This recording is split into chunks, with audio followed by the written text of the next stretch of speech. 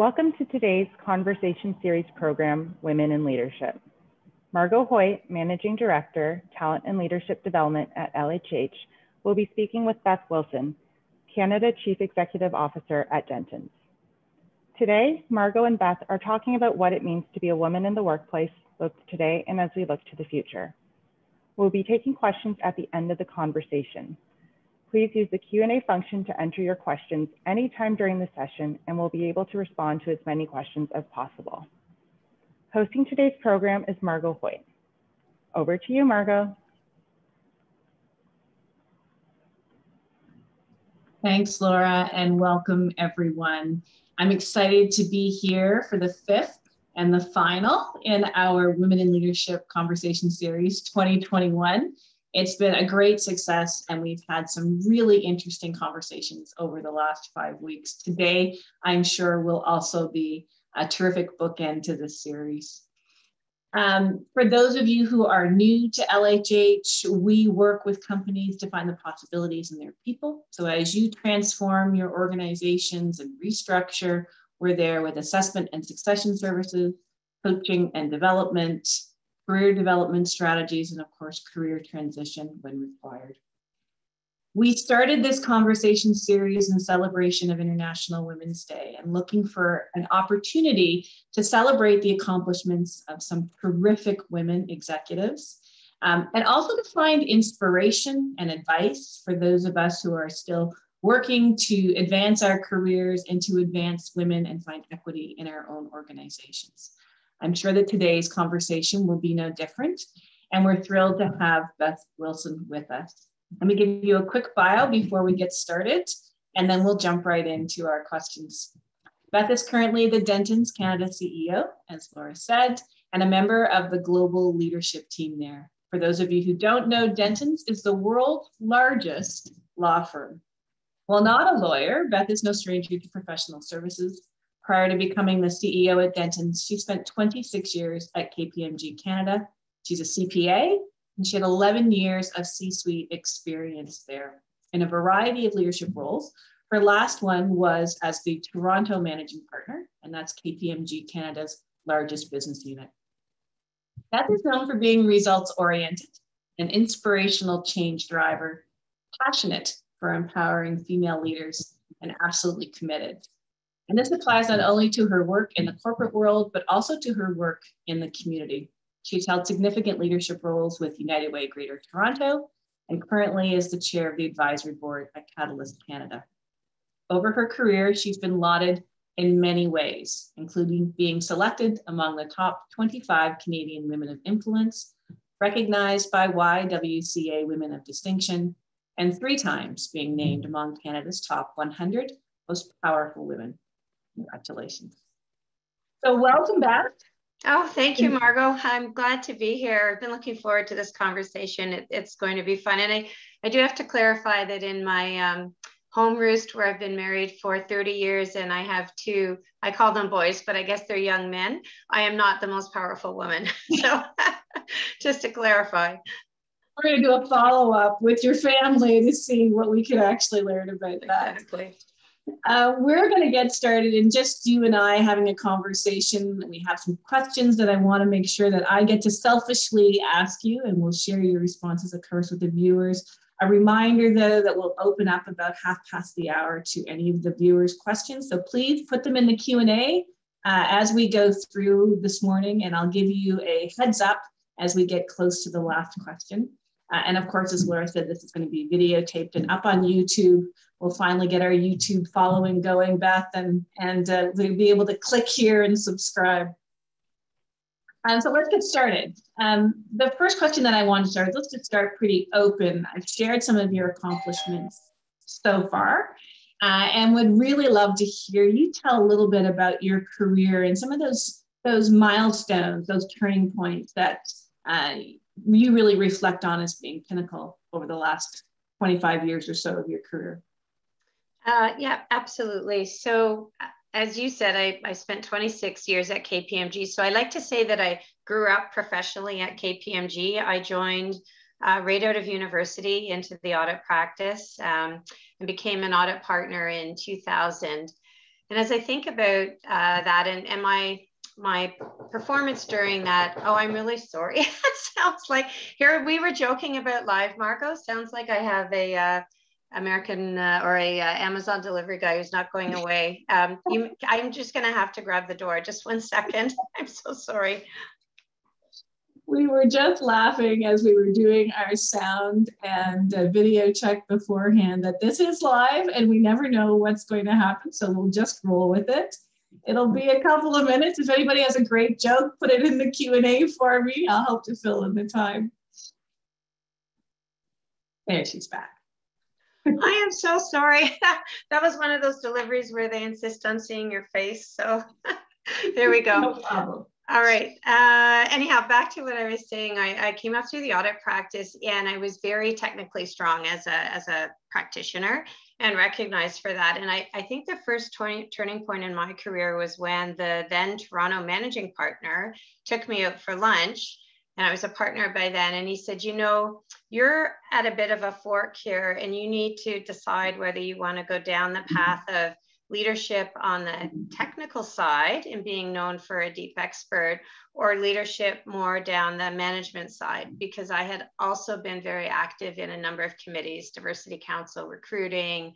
Teaching, learning, etc., and uh, and so I, I had to go away and really reflect on that. And I thought about individuals in leadership roles at KPMG that I saw both on both sort of sides. And, and I decided to pursue more the management side of leadership. Um, I felt that's where I could have the greatest impact, and, and that's where my interest lay. It was really around leading and motivating people. So that was really, I think, the first big decision for me. And then after expressing that ambition, um, really, it was a matter of time until there was an opportunity. And, and the first opportunity that came my way from our then CEO was to step into the role of, um, or sorry, at least go through the process to apply for the role of, of uh, Chief HR Officer. Mm-hmm. And I was young. I had only been a partner mm, a couple of years, I would say. And I had a couple of very large uh, clients. The boys were quite young um, you know, Brent was uh, was active in in his career, and the more I thought about it, and the more I thought about what would be involved, I got this feeling in the pit of my stomach that wasn't wasn't really a good feeling. So I sought out some advice from mentors. And ultimately, I met with the CEO and told him that I didn't think the time was right for me to put my name into the hat because he had made it pretty clear that I would be expected to do that big leadership role and continue servicing my big clients. Mm-hmm. And I just couldn't see how it could work because I was still figuring out how to be a really effective audit partner on large clients, how to be a mom to two young boys and make all of that mm-hmm. work. And so I said no. And he was very, I was really scared and nervous to say no. I remember he was very understanding, um, but he did say to me, you know, sometimes when you're ready, the opportunity will no longer be there. Ouch. I know. Uh, he he delivered a lot of ouches over the course of my career, and they were great ouches. So it was a an, a piece of feedback that that stuck in my mind. But I I did believe that if you were terrific at what you did and you focused on having impact, that opportunities, other opportunities would come along. Anyhow, lo and behold, two years later, the same opportunity came around for me. He was moving the then CHRO to a different leadership role. And by then, you know, the boys were older. I'd kind of got my feet grounded in, in being an audit service partner. I was feeling much more confident about that. And my husband had also made the decision at the time to leave his career at Canon and stay home with our young boys. So a lot of things had changed for me, and I felt like I was ready, and I stepped into uh, into that chief HR officer role. The next big turning point for me came again from the same CEO who was terrific at delivering what I call tune ups.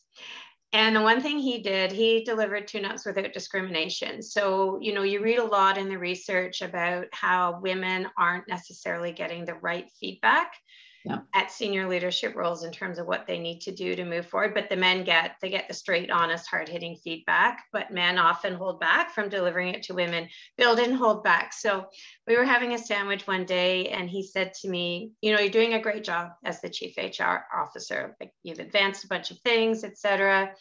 but I didn't put you in the role so you could do a great job. He said, What's your legacy going to be? Hmm.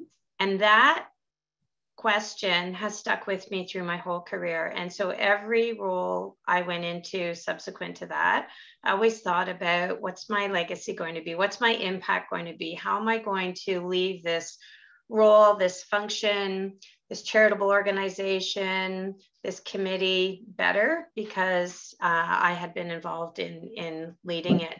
Um, and so on the back of that, you know, I really upped my game in the last year of my tenure as CHRO in terms of some of the initiatives that we um, that we launched. The other piece of feedback I had around that time was that I needed to broaden my experience. So, you know, as you know, running an HR function is is a is a functional role. You don't have P and L responsibility, even though in my mind you have responsibility for the most important thing, which is people strategy in a firm.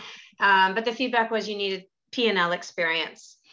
And so I was moved to run um, all of our smaller regions across the country. I used to joke and say it was everything but the big stuff. So it was sort of 30 offices across the country, but not um, any of the four, four main ones. And that was a that was a really good learning experience for me because you have to think about I was a young female based in Toronto, and now I was leading all these regional managing partners who were predominantly white men, mid to late 50s, who were really um, kings of their local region, right? So imagine being the office managing partner in Winnipeg or Kelowna or Halifax, and all of a sudden you have this sort of young upstart female leader from Toronto who's going to who's going to lead you. And so I had to think really carefully about how to earn their trust and how could I help them to be successful and advance what was important to them. And so i did learn a lot in that role about collaboration which was which was great. Um, i was then moved out of that role to run toronto and then towards the end of my time at kpmg it was ceo succession renewal time. And uh, I felt very ready and definitely had aspirations to uh, to become the CEO. I could just see I, I, had really strong views on strategy and vision and, and felt it was um, time to lead from the top really and have the impact in the firm I wanted to have. So, so I entered the ring. Uh, I was the only woman in the process. Um, and it was pretty intense, uh, let me tell you for sure. Um, you know, you think back to that time when I was going through that process, it was around the same time that Hillary Clinton was making her run for president in the US. And I remember reading about some of the things she was going through and experiencing some of that myself in terms of the double standard for women, right? In terms of, you know, too collaborative, not collaborative enough, um, you know, too too perfect, doesn't seem human enough. Is she likable? And all of these sort of questions and little rumblings of feedback out there. So, um, you know, I certainly learned a lot about courage and resilience being a woman in a in a reasonably um, intense and politicized process, like making a run for CEO in a professional services firm. Anyways, a long and short of that story is that I, long and short of that is that I was not selected to be the CEO. Uh, which was hugely disappointing for me because this was the institution where I had grown up, um, that I loved, and I really felt so passionate about making a difference in. So I did have to take a bit of time to reflect on all of that and, and how did I feel and whether I saw an opportunity for myself to continue to learn and develop and have impact at KPMG. And ultimately, I made the decision to leave um, because I just didn't see that opportunity for me. And I felt like there had to be something else out there for me in terms of a change mandate. So I left without having uh, anything to go to and, and, started that search process. And along came Dentons. Um, so a, a law firm and a partnership that was actually looking outside the partnership for their next CEO, and God forbid, like a non lawyer to boot, because you know the legal sector is a little they're they're they're a little stuck um, in terms of their progress compared to other professional services firms. Um, and I think the firm really recognized that, and they were looking to see if there was an outside change leader that that could come in and and help to move things forward. And so for me, the stars aligned because here was the opportunity to, to be the CEO. It was still professional services. Right. I completely understand a partnership culture. I understand the global Verein structure of a global professional services firm.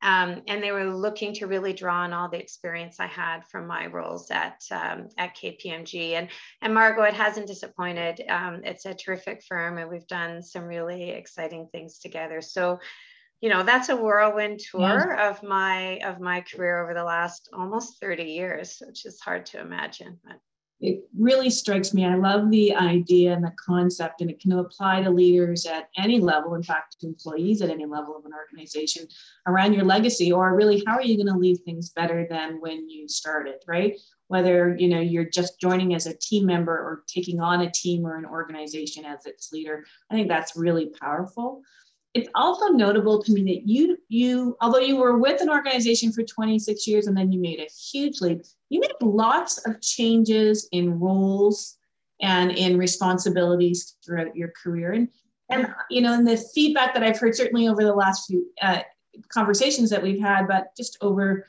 um, all of my time working with women that's not always easy. There's something about being comfortable in your role about excelling and you know feeling really comfortable there. Tell me about you know, your experience and how you really approach tackling those different roles and moving through your career that way. Yeah. You really have to be willing to take a risk. And I often think back to that my my young self that had that first opportunity, right, to become a CHRO and and I said no at the time and I often think about not so much was it the right decision because everything worked out well, but was it just my fear of the change and not being sort of mature enough yet in my own skin to to take the risk or or were the reasons valid and you know you shouldn't go back and second guess but i i mm-hmm. often think about how i felt in that moment when i'm coaching others around taking taking a risk but clearly you have to take a risk so even that first role that was about moving from somewhere where I was a technical expert. Right? As the lead audit partner, I was looked to by my teams for my expertise. I had credibility, and I was moving over to run a functional area where I was not a talent professional. So I understood the business and what was going to work on the ground. I understood firm strategy and I had leadership skills, but I had to adapt really quickly to the fact that I wasn't a technical expert, right? So right. again, sort of taking that risk to believe in yourself that you could lead a team of experts in an area that wasn't your home turf and that you could add value to that team as a leader and trying to figure all of that out. Um, or moving to run the p&l right where where i was leading a group of leaders who were really at a different age and stage than than me. So you know i think being comfortable to let go of what has made you successful initially, whether that's technical expertise or being a great individual producer and making that first leap. And then honestly, it gets easier. Like I think after you get through the first one, then each one becomes, it's always still a bit scary and you always feel that imposter syndrome whenever mm. you move into those new roles. But but each one gets easier. And I think you build, you know, you build the courage and the resilience to know that you can navigate change, right? When you step into um, into a new role like that. Um, the other thing I would say uh, in all of that is that for these roles, it's important to understand that there's I always call it the process behind the process. So even when I wanted to become a partner at KPMG, I remember getting the memo about the process and calling my counselor and saying, I'm ready to go through the process this year based on the feedback I received, and him saying, Oh, well, the process has already started and your name's not on the list this year. And I'm like, What do you mean the process has already started? and no, there was a process behind the process. And but that holds true for all of these roles, right? And I think the more senior the role, the more sort of politicized it is. And you really, you really have to learn to be comfortable navigating that and and I think get some thick skin, right? I, I, needed pretty thick skin when I was going through for for CEO because there are criticisms, right? And they can feel they can feel personal, and it's often not about you as a person. It might be about decisions that you made that others don't agree with. There's a lot of lot of reasons behind that, mm um, and then the importance of being ready to embrace failure.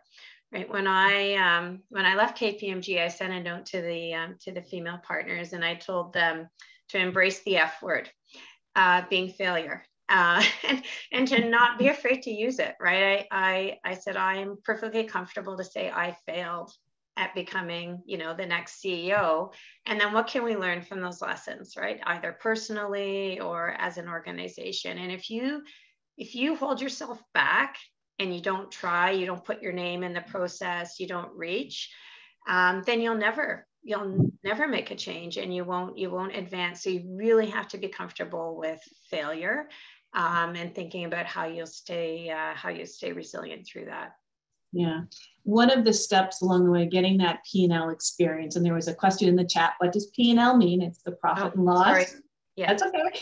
Um, and, and, it's it's actually part of some of the research you know you mentioned before around advancing women they don't always get support around you know what does it mean to run a business? How do you really understand the business? And of course owning a p&l about how you make money and where you're going to fall short or have a loss or a gap is a really incredibly important part of that right? Yeah. And, and margo an important part of my career story was sponsorship.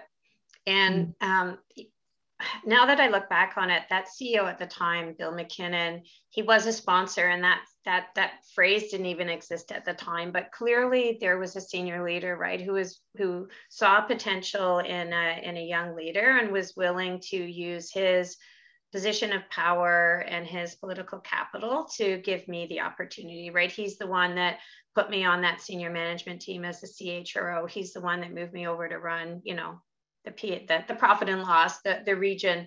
Um, and it was with his backing. And I, and I always knew he had my back, but he also gave me the tune-ups to, to make sure I, I upped my game where, where I needed to. That is really critical. Yeah. And interesting, you know, for those people who are viewing this and are have the opportunity to be that kind of sponsor, your role is so critical in advancing women or any uh, group that you're trying to advance and, and increase the um, the percentages in your organization. That sponsorship we see time and time again is, if not the most important thing, one of the very most important things uh, to be successful. So critical. I'm, curious. Did you know you were seeking? You said you didn't really know you were seeking out sponsorship. He may or may not have realized how instrumental he was being for for you, I suppose, as well. You know, I, I think that's right. And, you know, at that stage, um, people talked about coaching and mentors. Nobody talked about sponsorship. It's that's been fairly new, right, in recent years in terms of understanding the difference between having a mentor and having a sponsor. I had lots of mentors, most of whom were men, actually, because there were not very many females in leadership roles at the time kpmg even not even that many women who were partners who had uh, who had families so um, i definitely had a lot of male mentors along the way but bill was clearly a sponsor that's terrific now you mentioned uh, when we spoke you know you were 25 years at kpmg and you found a way to be involved not only within your organization but outside of your organization a number of ways to gain experience and to, and to be exposed to different types of leaders. Tell us about that part of your career development, if you will.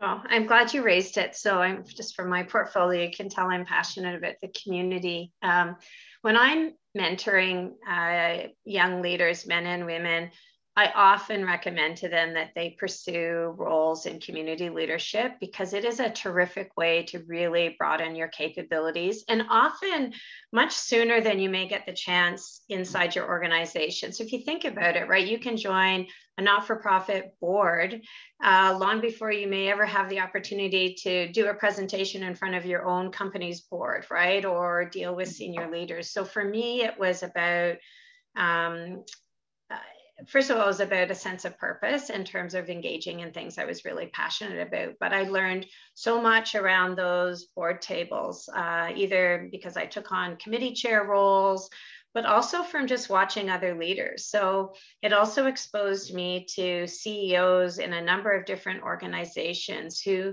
who also became great mentors or role models uh, for me. And even today, you know, I, I sit on, um, for example, I sit on the on the board of uh, Sick Kids Hospital, which is a great organization, and I continue to learn from watching other seasoned business leaders and directors in terms of the way you know they they present or engage in in sharing committees at the board level so in my mind there is so much you can learn in the context of also giving back and and having an impact in the community it's a great opportunity for professional development yeah, that's amazing. It serves so many purposes. We can learn from so many different um, parts of our our um, how we spend our time and uh, we find that purpose in being able to to give back to our communities as well.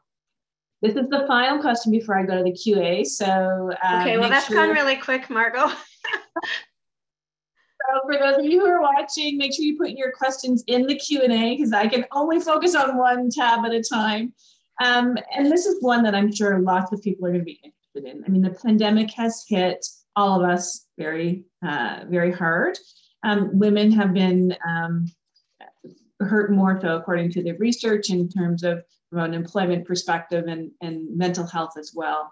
What's your advice in today's context for for women who are looking to advance their career or even just hang on right now? Yeah. Um, I thought about this question because I have sort of my standard list of ad- advice. And I, I was reflecting on whether it's valid or should be different in today's context.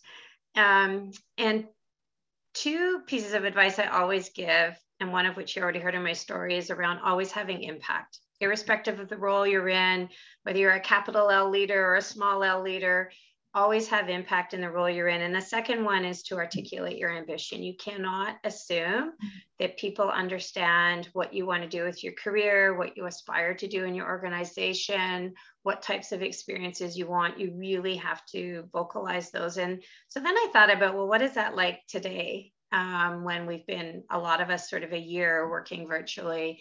And I think I would categorize that under the umbrella of don't become invisible. Mm-hmm uh, I really worry, particularly um, about a number of our women. And I think about our associates, for example, working from home and that lack of visibility to the partners who are handing out the work assignments or uh, who are making client phone calls and the associates no longer in the office in the room to, to be coached and hear the phone call. I, I do think it's really important and it's easy, right, to retreat into yourself in your comfort zone in your home. I think I think we need to double our efforts, um, either as as you know professionals and as women, to make sure we're not invisible. Uh, but also as leaders, we need to create lots of opportunities for people um, to be visible, and that takes a lot of thought and effort.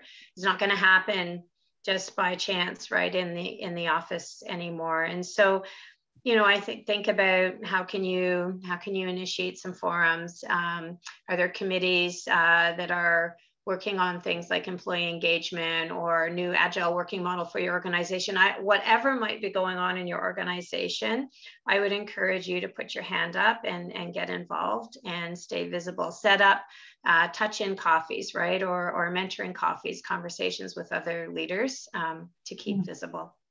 Yeah, it's you know mentoring and, and sponsorship and networking such important parts of our career of fulfilling those career aspirations. And then Margo, the other thing I was going to say is that I don't think you can do any of that unless you've looked after yourself first. And I I always talk about personal resilience, but I think in this environment it's it's even more critical, right? So if we're not turning off these bloody screens, right, and putting our phones down, if we're not physically going to some kind of different space, even if it's just walking outside now that the weather's getting better, um, exercise, eating well, and you know, drinking enough of this water stuff, um, journaling, whatever meditation, whatever it takes, it, it it's a hundred percent more important now than it was a year ago. Yeah, absolutely, absolutely. It's the same expression. You have to put your own your own mask on before right. you put the mask on your family, your colleagues, your neighbors. Great advice. Okay, let's get into some of these okay, uh, questions good. from folks who've written in here. Uh, related, this first one is from an anonymous attendee. Great comments on failure and taking risks. How can we change views on failure as these are truly opportunities to learn and change to improve on something? Without failing, we just keep doing the same thing. I think one of the most important things we need to do to change the attitude around failure is to story tell about it. Mm. Um, and I did not really come to that realization actually until I'd left KPMG and a couple people asked me to share my story. And it took me a long time to figure out how to be comfortable with the story itself and tell it in a way, because I love KPMG.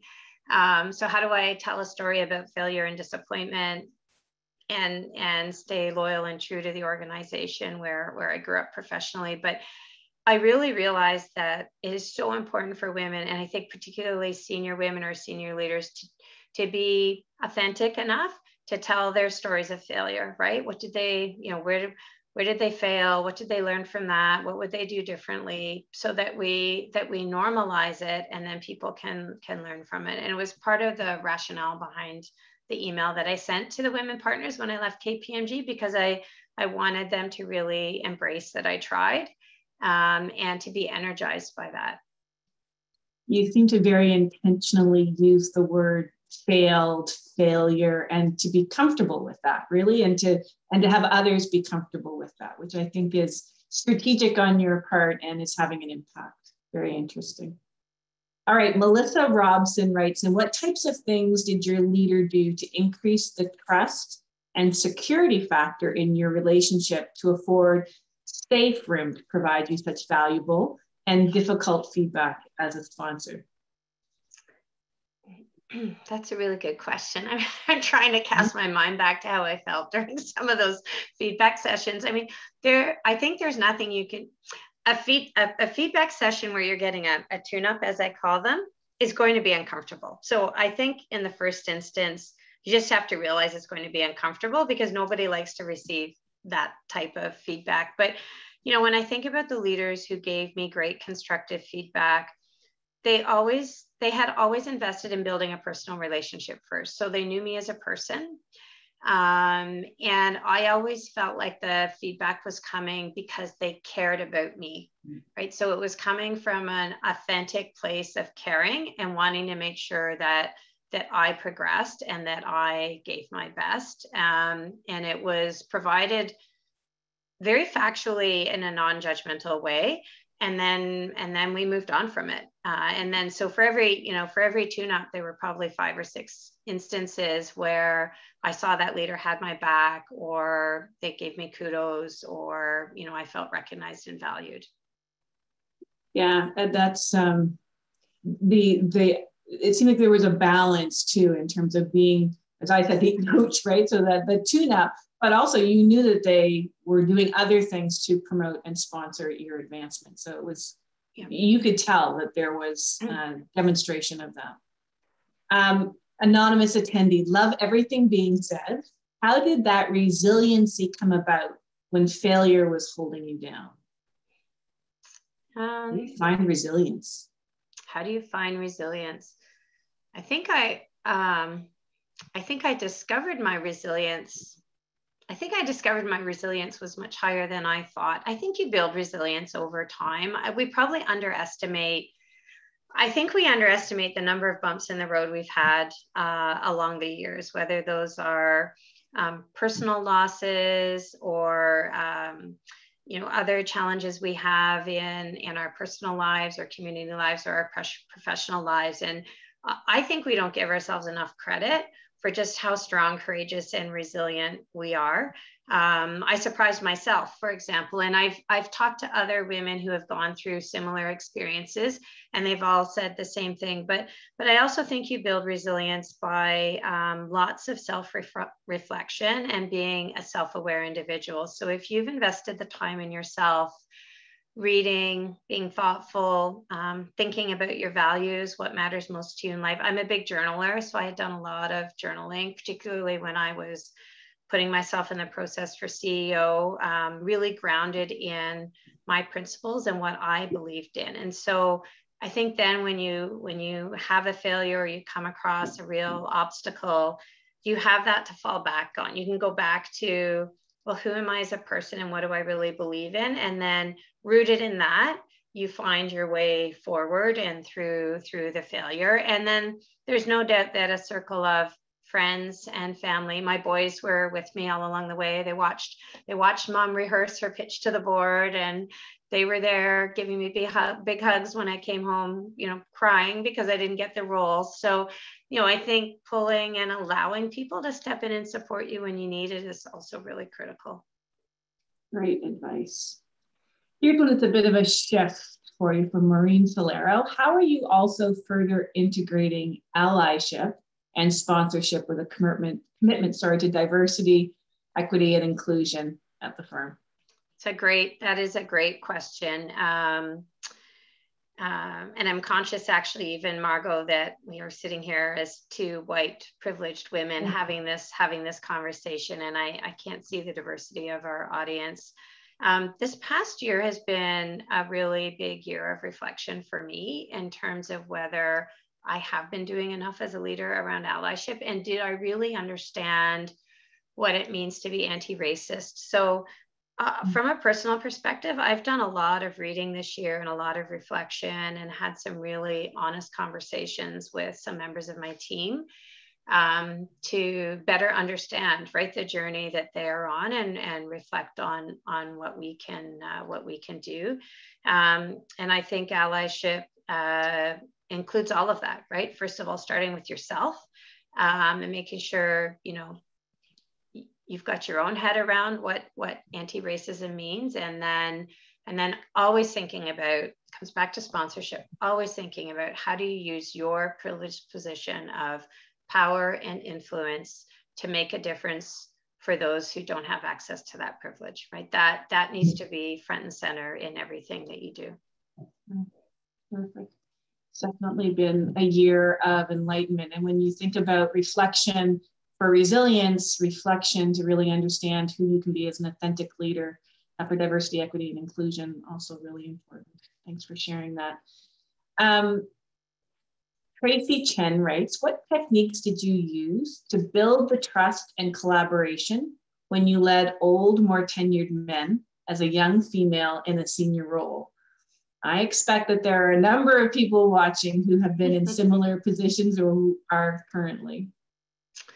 Uh, I started with listening, and I can say it was the same when I when I came to Dentons. And and trust me, there were a lot of raised eyebrows about a, uh, I think about a female accountant coming to run lawyers who who aren't well. I can't even run lawyers. Come to run a law firm who who uh, aren't keen on being managed uh, I always start from a position of listening and curiosity. So investing a lot of time up front, listening, understanding the views of, in that in that case, the regional leaders uh, around what was going well for them in their region.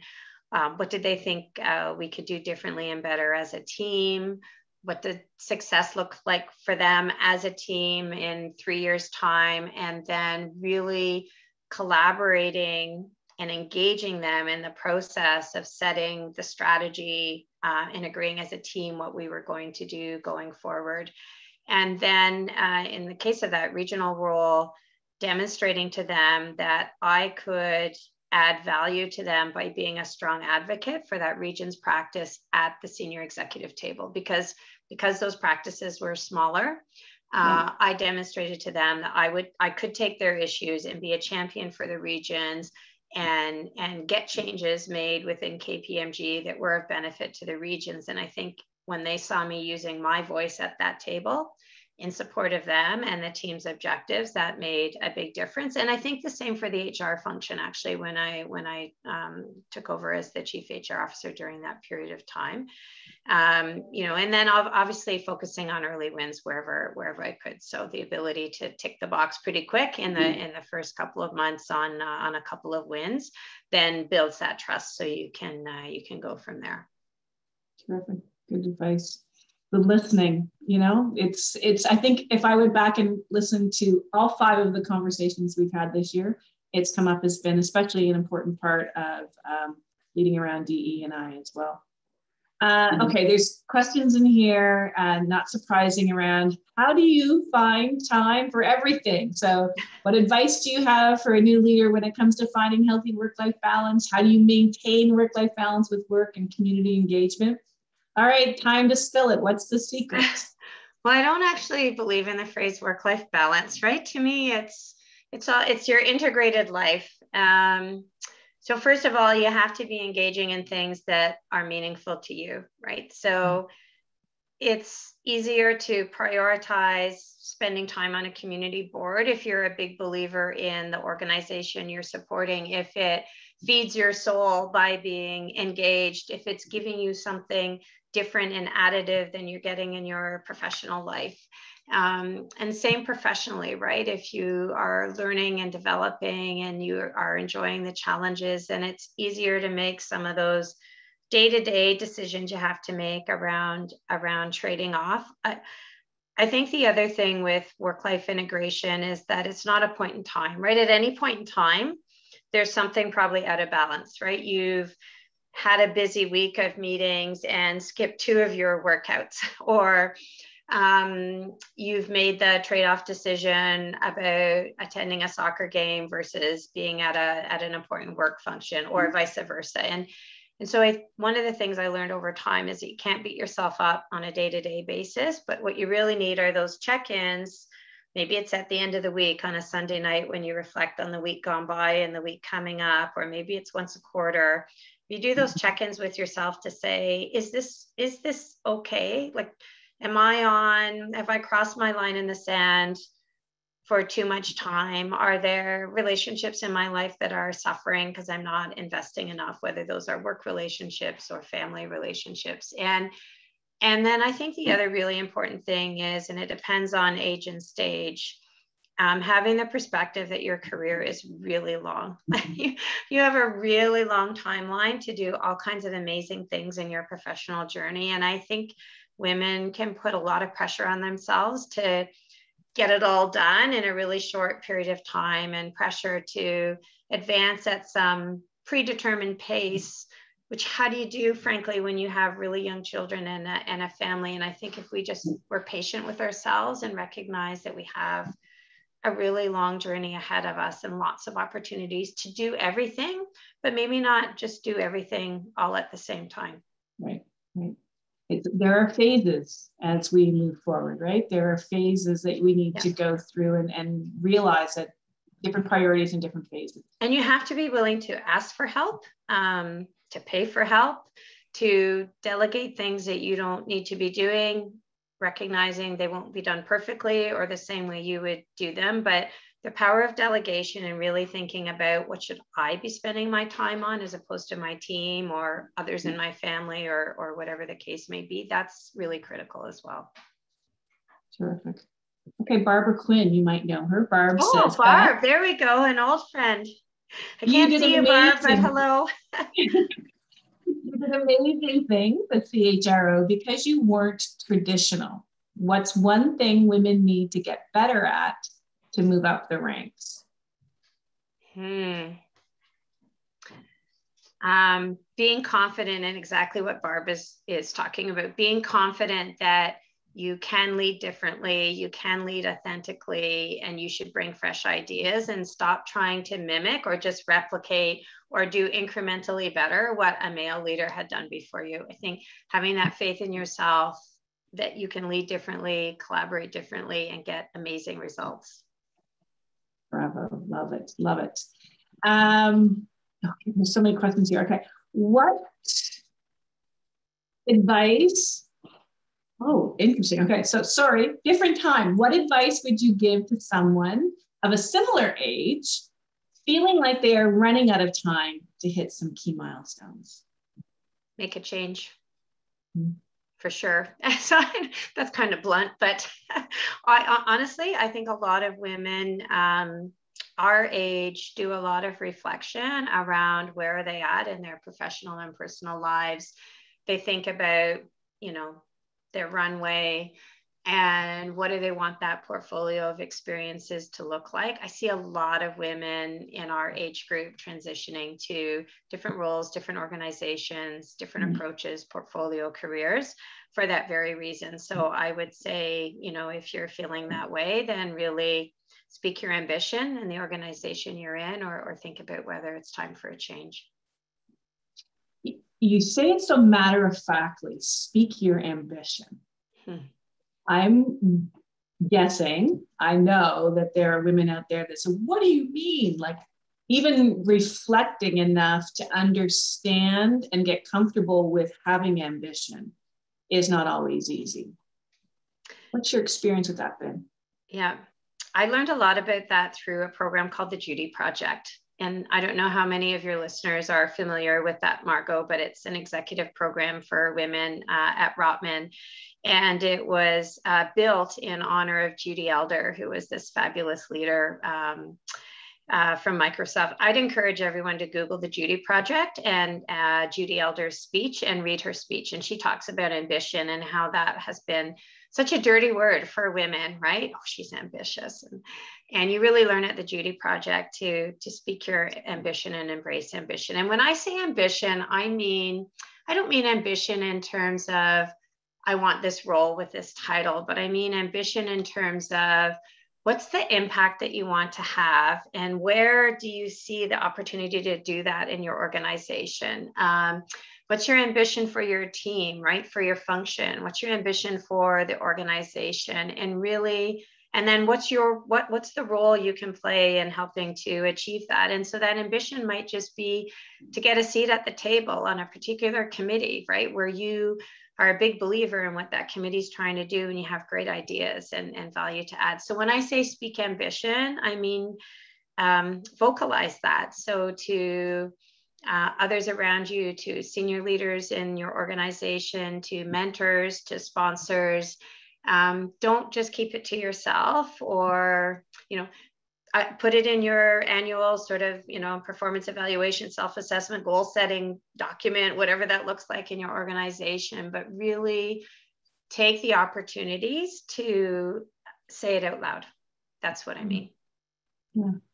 I have seen so many women who have just by the virtue of being encouraged to do that get a promotion get the job they never thought they could get uh, get an opportunity even to work with a mentor or a sponsor that they didn't think would be possible. And so figuring out how to articulate that and be comfortable with ambition, abso- absolutely huge. That's terrific. Um, what's a good way to make sure you're getting good feedback if you feel like it's being withheld from you as a woman? You touched a little bit up front around how some men feel less comfortable providing the goods to women. Yeah, it's a great question. I can think of examples when I um, when I have uh, mentoring coffees, for example, with associates in our firm who aspire to be partners, and they'll say, you know, I don't know why my name isn't going forward yet, and I have really good evaluations. And my feedback to them is, don't leave your performance conversation, your year-end conversation, without specific, actionable, tangible feedback on what you can be doing better or differently. There is there is constructive feedback for everybody. I don't care how great a superstar you are or how well you're doing in your in your role, particularly if you have ambitions to do something different. I you know my uh, I always say the onus is on you to keep pushing uh, for that feedback and proactively asking it. And if if you're not getting it from the individual um, uh, who sort of has that formal responsibility, then try to find it elsewhere. So think about mm-hmm. somebody else who observes you in action or who, you know, sees the impact of your work or who has followed a similar career path and go for a coffee and ask them for honest feedback. I think it's important that we all search out those individuals who will always call it sort of holding the mirror up to you, right? There, yeah. There's different forums where you have people who will hold that honest, you know, hold that mirror up for you and and give you some honest uh, input on what you could be doing differently or better. And and I think as a leader, acknowledging to your team that you're open to that feedback and you want that feedback and making it safe for them to provide you with that feedback is also um, really important. Yeah, terrific. And some cultures are better at it than others. You can even use mechanisms like 360s for Absolutely. some of that anonymity and, and being able to get it as well. Uh, here's something for you. When I speak up and try to have my voice heard amongst male colleagues, I'm told I'm too emotional. How can I get my point across without being seen as too emotional? Wow, there is a really good example of what I was talking about earlier in terms of that double standard. Um, yeah because you may see a male colleague do the same thing and, and uh, would be described sort of passionate, passionate and committed to his views or um, persuasive. so um, I guess first of all, don't label yourself as, as too emotional. Um, all that being said, I think that if in a particular uh, working team or environment, the manner in which you're trying to get your point across isn't landing, you do need to do some reflection around what why why is that? And I, I wouldn't slap a label on it like too emotional, but but maybe take the time to watch others and think about how are others getting their getting their point across persuasively um, and is there is there something different that you need to do? We all have to adapt our style depending on the room we're in um, the cultural norms and what seems to be most effective in terms of in terms of persuading people.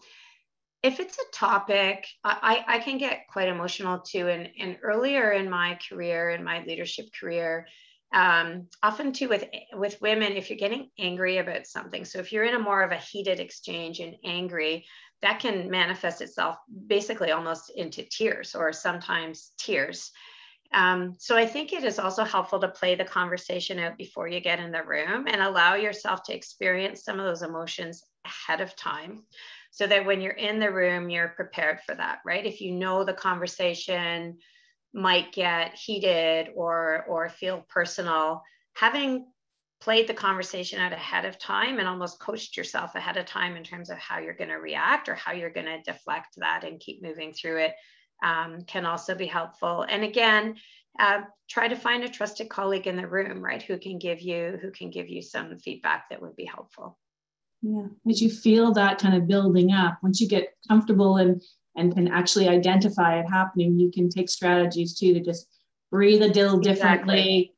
Stand your feet down to get grounded a bit. Yeah. And it's not that emotions are bad. Like I'm with you. I think that they're they are a sign that you're committed, that you're passionate um, but you want to make sure that people can hear your messages yeah and you can have the impact get up and take a glass of water do something to kind of break that dynamic and then sometimes it can't be sometimes your voice just can't be heard in the room because it's not the right time and place or others emotionally aren't there aren't ready to hear the message. And so uh, my other piece of advice is it doesn't end in the room um, you can find other opportunities to then go speak to individuals one-on-one you know work the room outside the room. Maybe one-on-one conversations will help to advance people along in terms of your views. I think there are lots of ways you can follow up outside of the room as well. I don't i don't think you need to feel like the conversation has ended um, in the room.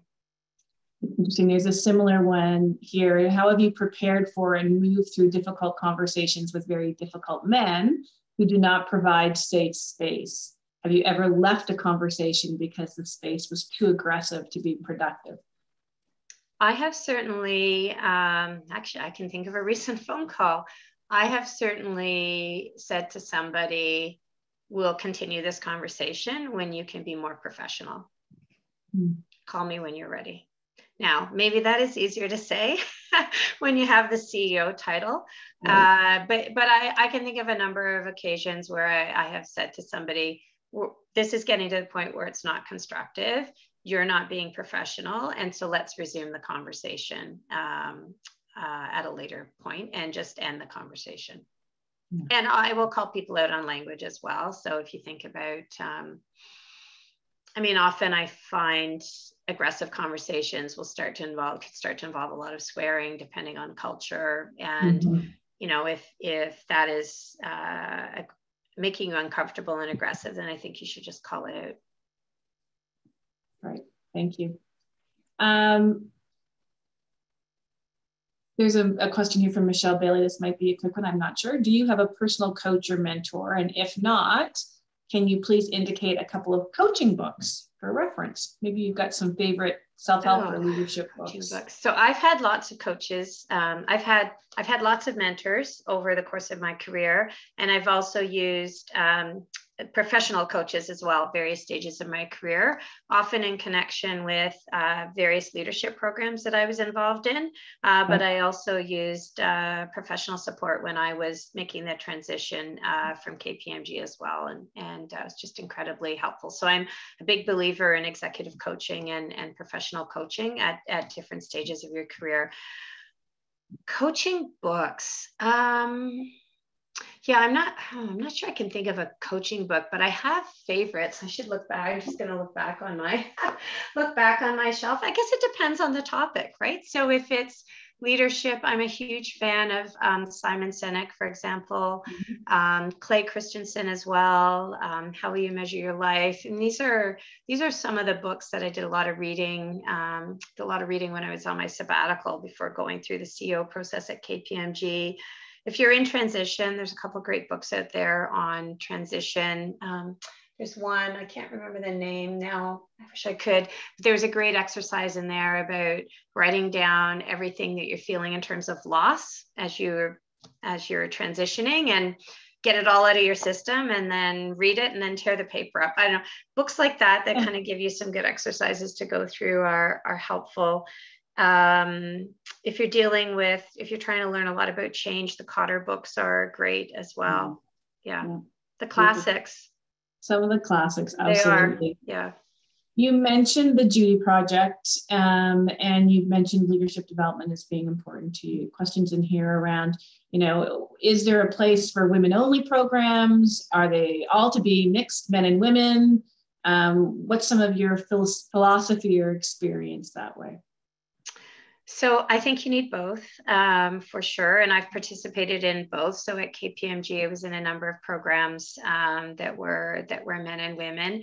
Um, but I loved, I mean, the Judy Project was really a unique experience for me. I loved the safe environment of being with other women executives who were really exploring what ambition meant and it was a comfortable place to articulate um, what was going well in their careers, what they where they aspired to be, and to really get courage from each other, and also talk about because there are women do have unique experiences as leaders and in the workplace, and so it was a great environment to share all of that and realize you're not alone in what you experience, right? So it really helped to normalize uh, the experiences you were having and provide you with that venue to to speak to others who had similar experiences. But um, but i think you need both right? Because you need to build those relationships with men as well and there's so much we can learn from our male colleagues and and vice versa. Terrific. Totally agree. We've reached the end of our time. The hour has flown by beth. Thank you so much for sharing uh, your story your transparency. Uh, I really am impressed by the amount of insight and reflection that you have um, really taken good care of yourself through your journey and, and stayed authentic to what's important to you and been really mindful of that. Just before we close up, though, what are your final words of wisdom, speaking of insights, that, that you'd like to share?